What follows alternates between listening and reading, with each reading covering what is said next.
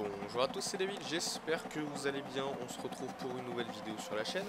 Aujourd'hui, on se retrouve pour une FIA Manufacturers, euh, donc saison 2 de la saison officielle 2021. Euh, nous sommes toujours avec notre Toyota, qui, euh, vous allez le voir dès maintenant, a toujours autant des départs de merde. Hein.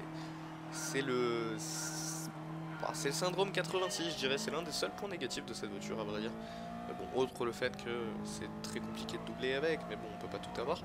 Je dirais que c'est les départs, vraiment, parce que t'as beau chauffer les pneus autant que tu veux, elle aura les pneus toujours aussi froids, comme vous pouvez le constater.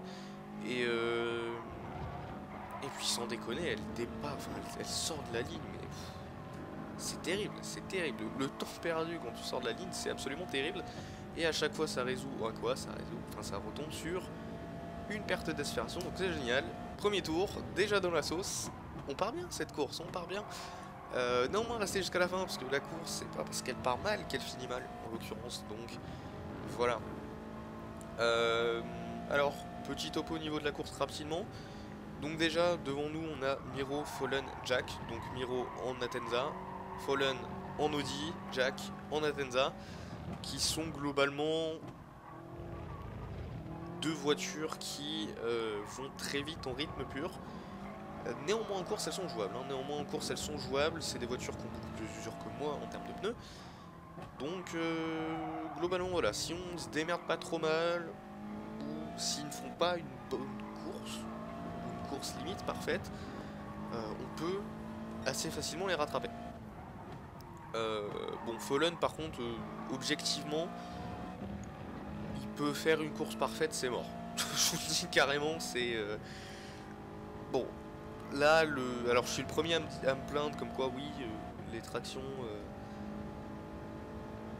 En général, pour moi, genre peuvent terminer la course sans souffrir au niveau des pneus beaucoup trop facilement. Encore là, sur celle-ci, c'était limite impossible pour eux de le faire. Donc, c'est un peu dommage pour, euh, pour les tractions, mais enfin nous ça nous arrange évidemment, euh, en termes de résultats, en termes de points, mais en termes de fun de course, bon... Euh, ah, quoi que vous me direz en soi, ça, me permet de les doubler plus facilement et ça permet de ne pas rager derrière des tractions absolument indoublables, donc... disons que... faut croire qu'il y, y, a toujours des contents et des pas contents quoi. mais enfin bon, du coup on termine ce premier tour, alors globalement l'enjeu de la course ça va être de tenir une bonne position pendant les deux premiers tours. Après, logiquement, nos pneus vont charger, la voiture va... Enfin, nos pneus vont charger de faire le reste et la voiture va commencer à monter en rythme progressivement. Enfin, pas à monter en rythme en tant que tel, mais à, être plus à l'aise, quoi. Plus à l'aise que les autres. Donc, euh, donc il faut profiter de ça. Euh, chose importante, donc derrière nous, on a Adam, Aku et Tunable Coyote. On avait Tunable Coyote juste derrière nous, mais il s'est fait doubler par Adam et Aku. Euh, qui sont également trois voitures, donc à savoir la Jaguar, la Stone et la Corvette, trois voitures qui ont une bonne pêche en vitesse de pointe, donc pour le coup s'ils veulent nous doubler, ils vont à peu près pouvoir nous doubler n'importe où, je dirais. Donc va quand même falloir faire attention à ça. Euh, dernier virage pas forcément super bien géré de ma part. 5 dixièmes de retard. Donc globalement, s'il a envie de nous doubler, il peut aller nous doubler. Donc là, tout ce qu'on peut faire, c'est à peu près prier qu'il vienne pas nous doubler. S'il vient nous doubler, qu'on arrive à, se caler entre lui et Aku. Euh, et garder le rythme d'Adam et, et, voilà, rester sur un rythme correct sans trop perdre de temps. Fort heureusement, il nous pousse un peu tard, je dois bien l'avouer, ce qui me surprend un petit peu au freinage. Euh, mais bon, c'est pas très très grave.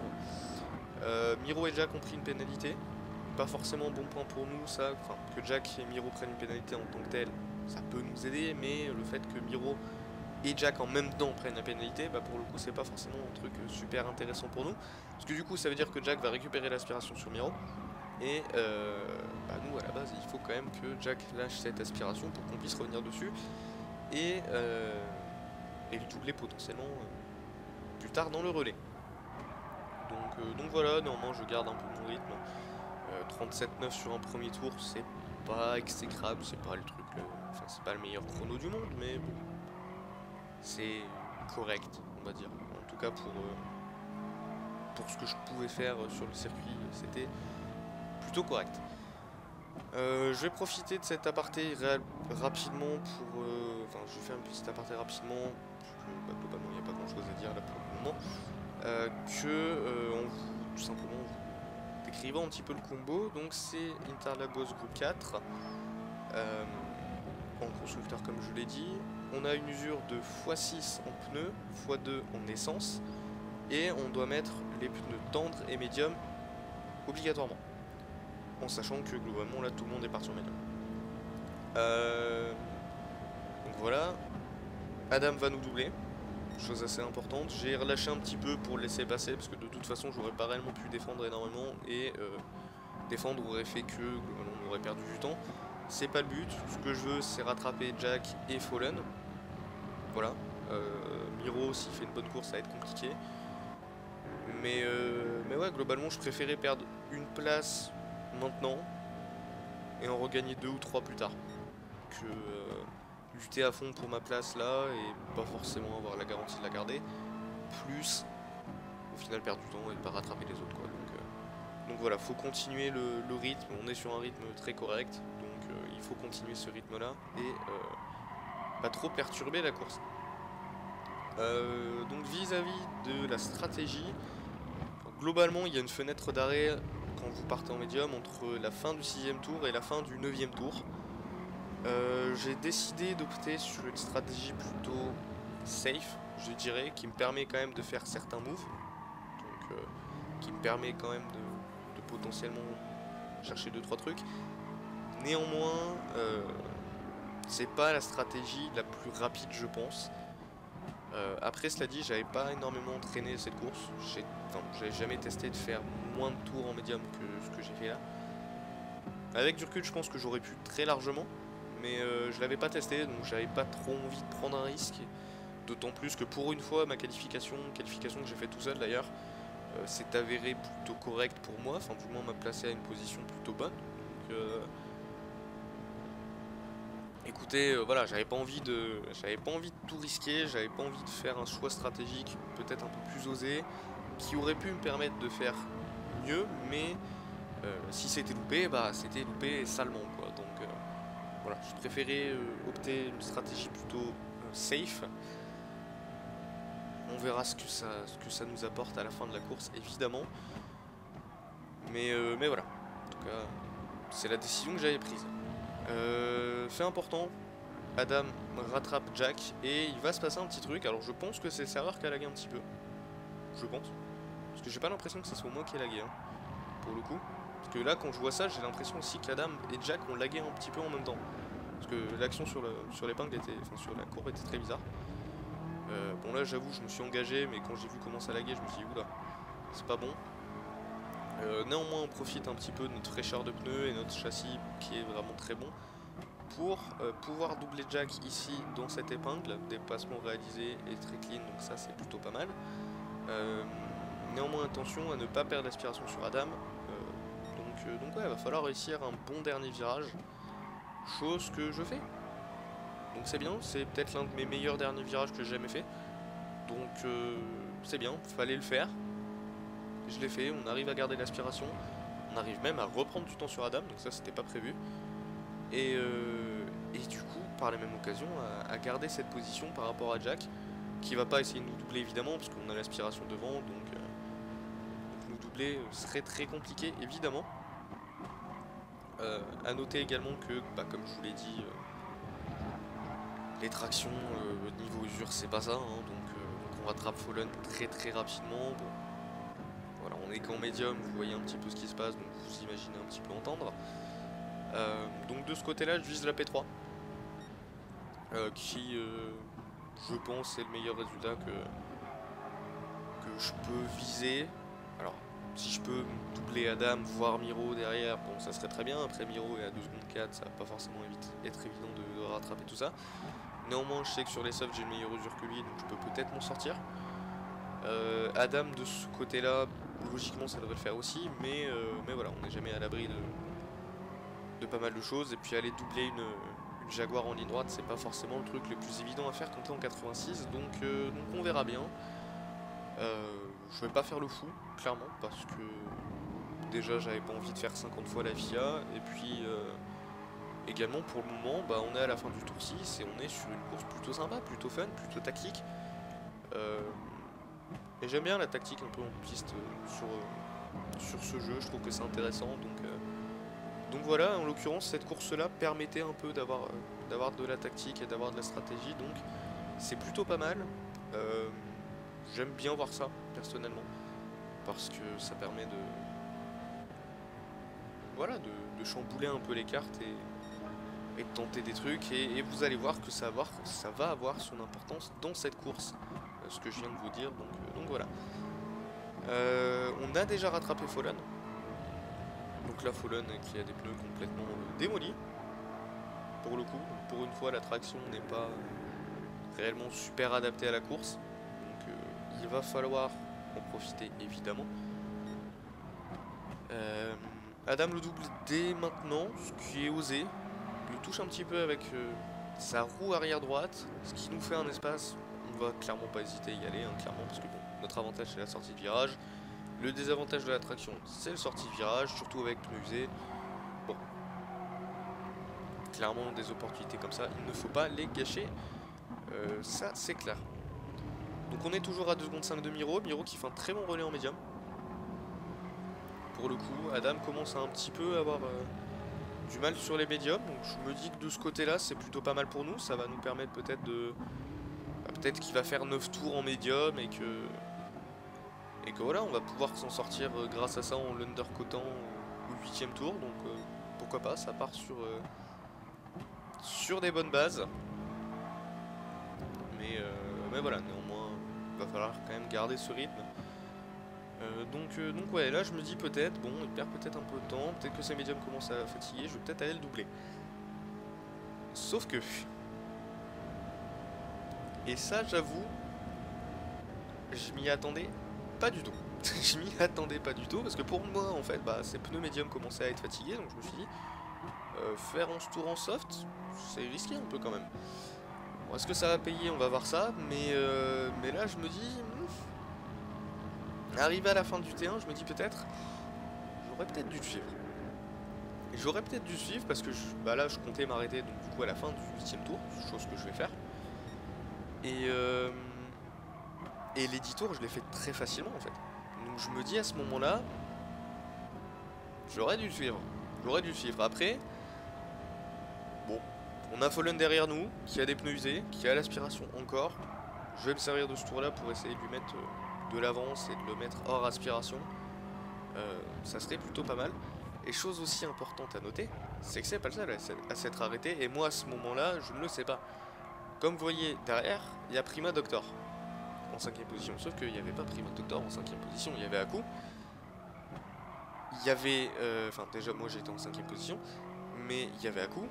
Il euh, y avait Tunable Coyote, il y avait Adam, il y avait pas mal de monde. Euh, je crois même que, bah, ouais, quand vous regardez, euh, bah, si Doctor était peut-être P 8 ou P9, mais il y a quand même pas mal de monde qui s'est arrêté.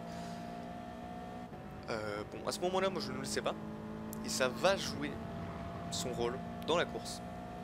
Malheureusement pour nous, d'autant plus que je fais pas un super huitième tour pour le coup, bon suffisant pour mettre Fallen au Raspi, Enfin, quoi que vous allez voir ça. Euh, bon, j'avoue que j'avais pas tant réalisé sur le coup. Mais ça peut peut-être nous gêner. Ça peut peut-être nous gêner. Amenti continue. Lui ne s'est pas arrêté. Euh, Yaki euh, Agustin qui euh, continue également. Bon, après, logiquement, ils seront suffisamment loin pour nous pour pas trop nous gêner. Euh, vous allez voir qu'ils sont à 17 secondes, je crois, quand on sort des pieds. Hein, euh, tranquillement. Et il y a Adam qui, comme vous le voyez, arrive juste là. Donc je me dis, bah c'est bon, je devrais ressortir à peu près pareil. Sauf que j'avais pas remarqué à quel point ma sortie de stand en 86 était lente. Et non seulement Adam va me doubler, il était déjà devant, c'est normal, mais je vais également avoir Tunable Coyote et Ako qui vont me doubler. Et là, pour le coup, c'est pas forcément bien. D'autant plus que si vous notez bien, ce qui était une seconde à l'entrée des stands se transforme en 6 dixièmes pour Fallen. Donc ça, c'est absolument génial. Hein. Euh, quand je vous dis clairement que quand c'est l'IA qui conduit cette caisse, c'est une catastrophe, je vous mens pas. Hein. Le départ, on se fait bouffer. Euh, et, les stands maintenant fait bouffer, c'est génial, je perds 4 dixièmes sur les stands, alors en gros tout le boulot que j'avais fait sur le tour précédent, donc mettre Fallen au Raspi, n'a servi à rien. Et pour le coup, je ne sais même pas si j'ai perdu du temps par rapport à Tunable Coyote et à Aku, parce que si c'est le cas, 3 dixièmes, bah ça peut vraiment faire la différence pour le coup. Donc, bon, pas ravi de la situation, clairement. J'étais plutôt furax, je me suis un peu demandé pourquoi. Bon, après, je me suis rappelé que, euh, vous l'avez vu, en fait, la voiture est sortie en deux, deuxième vitesse, qui ne fait aucun sens. Hein. parce que la première vitesse est très longue, mais... Euh, mais voilà. Du coup, ça nous arrange pas des masses. Hein.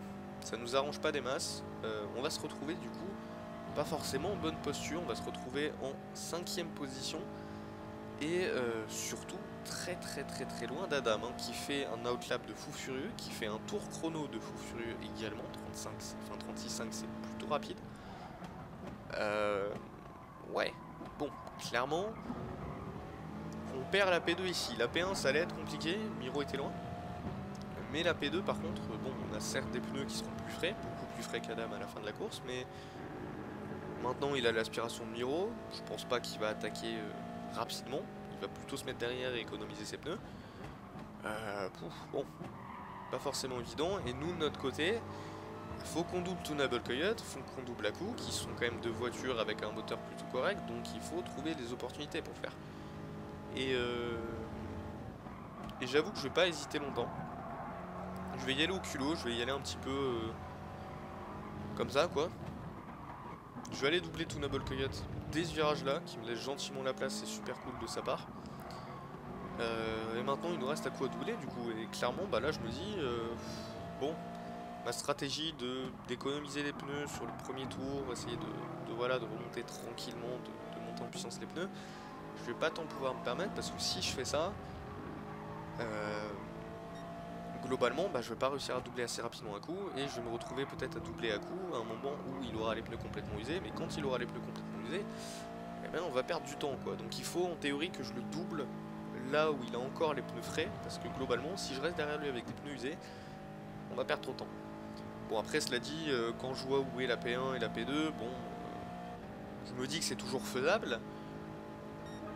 Après, euh, entre faisable et fait, il y a une grande différence. Donc, de ce côté-là, voilà. Normalement, voilà. Je me dis quand même que, que P3 c'est bien, donc si on peut garder la P3, enfin prendre déjà la P3, la garder, mettre en Raspilaku et euh, Fallon par la suite. Ça m'ira très très très très bien. On va doubler ici, alors en général c'est pas des virages où je double, après cela dit... Euh, Là voilà quoi, j'avais qu'une idée en tête, c'était de passer devant le plus vite possible, peut-être de tirer un petit peu peloton, mais euh, mais au moins de, voilà quoi, de, rester devant rapidement, de passer devant rapidement et de globalement faire la course comme je pouvais le faire quoi. Euh, euh, en essayant de rattraper Miro et Adam, sachant que évidemment ils ne vont pas s'attaquer tout de suite, ça serait relativement con de le faire. Donc si s'attaque c'est dans les 2-3 derniers tours. Donc voilà, il faut que je garde un gros rythme pour pas trop perdre de temps. Parce qu'ils ont un gros rythme, ils ont un très très gros rythme, un meilleur rythme pur que moi. Euh, personnellement, j'ai un meilleur rythme peut-être sur euh, le relais en entier, quoique. Euh, mais sur les premiers tours en tant que tel, ils ont un meilleur rythme que moi, donc c'est pas forcément évident de, revenir. en général, moi je reviens sur le dernier tour, sauf que sur le dernier tour, c'est limite un peu trop tard. Donc, donc ouais. Va falloir que je cravache quand même un petit peu. Alors après, je me dis quand même qu'il y a une troisième place à la clé. Euh, bon, c'est déjà correct. Surtout vu le nombre d'heures, enfin plutôt de minutes on pourrait dire, à ce niveau-là que, j'ai passé sur ce combo. Euh, clairement, euh, je me dis que P3 c'est correct.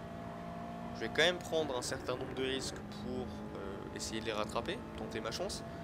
Mais il faut quand même que je sois assez mesuré dans ces risques-là, parce que si jamais je fais une erreur, je peux très facilement perdre une, deux, trois places. Euh, est-ce que tu as réellement envie de perdre trois places? Pas vraiment, donc, euh, donc voilà, va falloir quand même assez mesurer le, le risque. Mais, euh, mais ça va être l'optique ici dans cette suite de courses. je vais me taire à peu près 5 minutes. Donc écoutez, je vous laisse avec le gameplay tranquillement et puis je reviendrai plus tard dans la course quand j'aurai quelque chose à vous dire.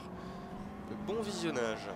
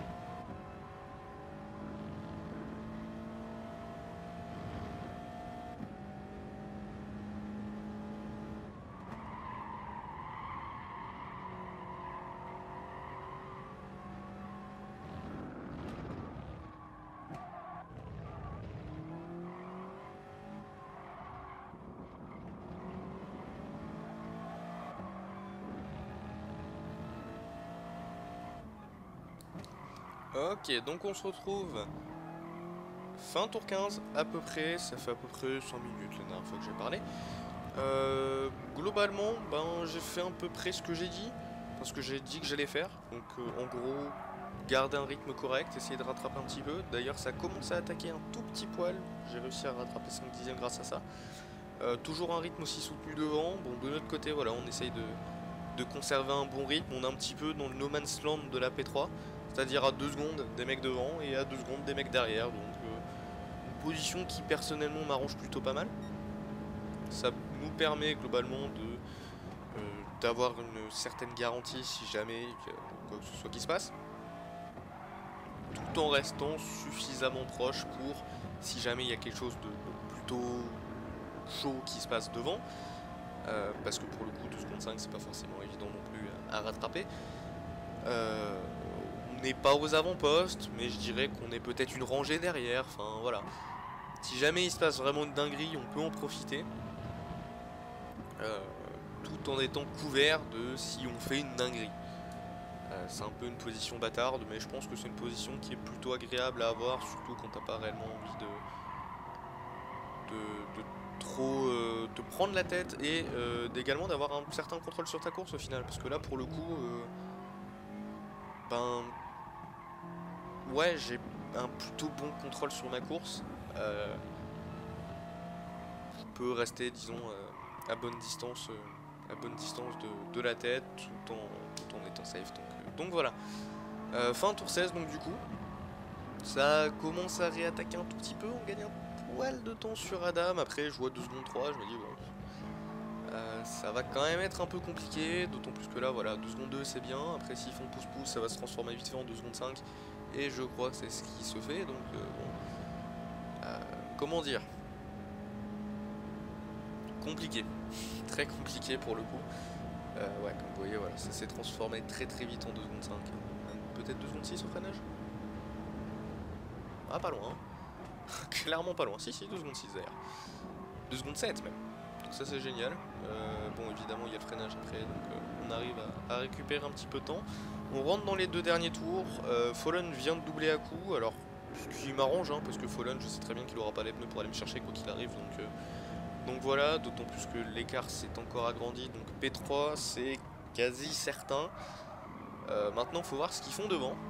Et est-ce qu'ils vont commencer à attaquer tout de suite est-ce qu'ils vont attaquer au dernier Enfin surtout est-ce que Miro va attaquer au dernier tour ou pas? Parce que oui effectivement bah, tour 15 quand il y a eu un petit peu de bataille c'est Adam qui est passé devant.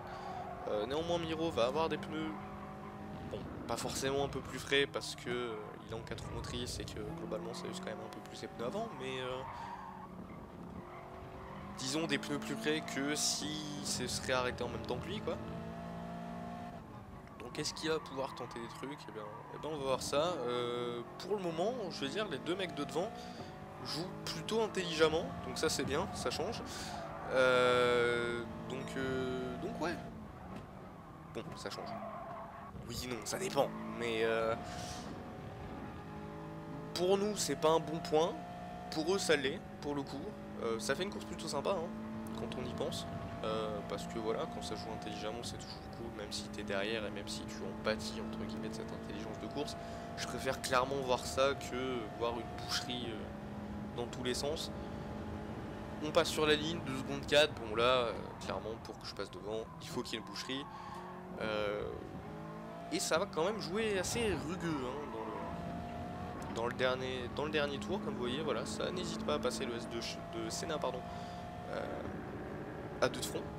Donc ça c'est plutôt osé surtout avec les plus usés et euh, avec le risque de prendre la pénalité. Euh, également, ça va quasiment jouer de front ici. Miro, euh, je ne sais pas si c'est l'intelligence de, se recaler derrière ou si juste il n'a pas les freins pour pouvoir se mettre côte à côte. Mais, mais voilà, il se remet un petit peu derrière, il se replace. Ici ça tente des trucs, ça bloque pas ça un poil mais ça va. Enfin ça bloque un petit peu mais ça va. Voilà, on revient, nous, pour le moment. Hein. On revient, une seconde 4, une seconde 2 maintenant, une seconde 1. Bon, il reste néanmoins que 3 virages, donc je comprends vite que c'est mort pour moi. Mais voilà, on est quand même dans les avant-postes de, cette bataille. Puis, une connerie de dernier virage, bah... hein. on va prendre clairement, on profitera de la situation. Euh, néanmoins, je me doute que bah là, globalement, euh, il va pas y avoir ça au dernier virage. Hein. Tout ce que ça va faire, c'est essayer de sortir le plus vite possible du dernier virage et essayer de doubler euh, par la suite. On revient à l'aspiration, alors c'est dommage, hein, parce que clairement, bah, à un tour en soi. Mais bon, après, c'est bien joué de leur part, parce que s'il y avait un tour de plus, pas dit qu'ils auraient attaqué au 18ème. Alors il s'est passé ça, j'avoue que j'ai pas la rediff, je peux pas réellement voir, je sais pas si euh, c'est Miro qui a passé de place ou si c'est Adam qui pousse un petit peu contre le mur quand même. Euh, donc, euh, donc voilà. On termine cette course donc en troisième position. je pense que c'est à peu près le mieux qu'on pouvait espérer. le temps total est correct, 26, enfin 29, 26, 56 pardon, .5 à peu près. Quand tu prends en compte mon départ pourri, quand tu prends en compte ma sortie de stand, quand tu prends en compte également quelques petites erreurs que j'ai pu, que pu faire pardon, au niveau de la stratégie également, euh, ça va, c'est correct, c'est correct. Euh, est-ce que, est que j'aurais pu aller chercher la deuxième, voire la première position si je m'étais arrêté un tour avant? Eh bien on ne le saura jamais, je pense que ça aurait pu être jouable. Après... Euh, J'aurais peut-être pu recoller. De là, doubler, c'est un autre sujet. Parce que déjà à 2, là, il n'y avait pas beaucoup de place. Alors à 3, ça aurait été un sacré bordel. Donc euh, en vrai, bon, pas vraiment dit que ça aurait pu le faire. Néanmoins, euh, néanmoins voilà. On reste dessus, du coup, sur cette troisième position. 363 points pour euh, ma pomme, ce qui est relativement honnête, franchement j'ai pas réellement d'objectif cette saison. Idéalement, ça serait quand même bien de faire, euh, on va dire, allez, 330, 340 points de moyenne. Mais euh, bon, disons que euh, c'est secondaire, quoi. C'est clairement secondaire. Moi, ce que j'aimerais bien noter sur cette course-là, c'est que ça a été une course plutôt fun, une course vachement stratégique pour le coup. Enfin, en tout cas, personnellement, c'est vraiment ce que j'ai senti parce qu'au final, j'ai dû beaucoup me, enfin, réfléchir à ce que, aux actions que j'allais devoir faire sur les tours euh, d'après. Euh, et quand on pense, enfin quand on regarde, Adam gagne la course sur la stratégie. Euh, Miro défonce sa P2 également sur la stratégie, hein, parce que pour le coup il s'est arrêté au 8ème tour et il a bien fait, parce que s'il s'était arrêté au 7ème tour, je doute qu'il aurait pu tenir Adam personnellement.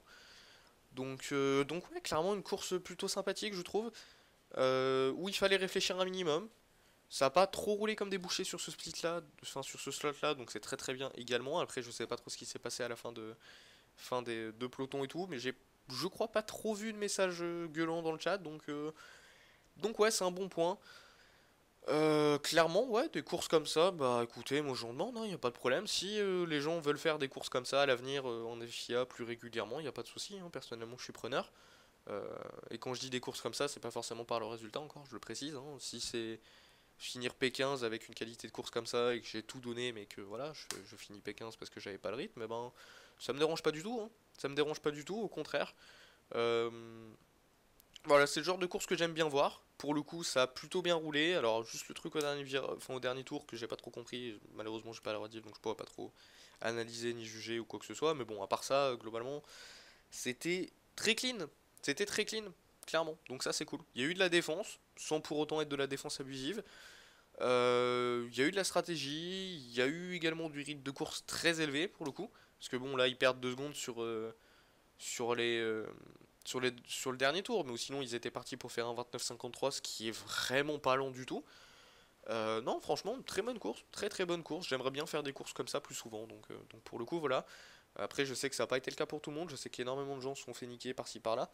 Euh, mais en tout cas de mon côté ça s'est bien passé donc, euh, donc très content de cette course. Euh, bref, je pense à peu près avoir tout dit, donc merci à tous d'avoir regardé cette vidéo. Rendez-vous probablement dimanche pour un stream rétro GT. je risque peut-être de poster mon tour qualification de la Porsche Super Cup ce week-end, parce que je compte passer ma, qualification demain, donc vendredi, s'il n'y a pas de problème. Donc je posterai peut-être ma qualif ou juste mon tour, je sais pas, on verra bien. Euh, donc, euh, donc voilà. Et puis quoi d'autre euh, Ouais, pas grand chose d'autre à dire. N'hésitez pas à me dire vos retours dans les commentaires par rapport à ce format-là. Bon, format que j'ai déjà fait sur la chaîne, hein, mais si vous avez des suggestions, ce genre de trucs, n'hésitez pas. Je compte aborder les FIA de cette manière-là maintenant. Je pense que c'est le plus simple, je pense que c'est ce qui va me permettre également de sortir plus de contenu. Donc, donc voilà. Bref, allez sur ce les gars, je vous laisse. C'était David, merci à tous d'avoir regardé cette vidéo. Rendez-vous à la prochaine et d'ici là, portez-vous bien. Allez, salut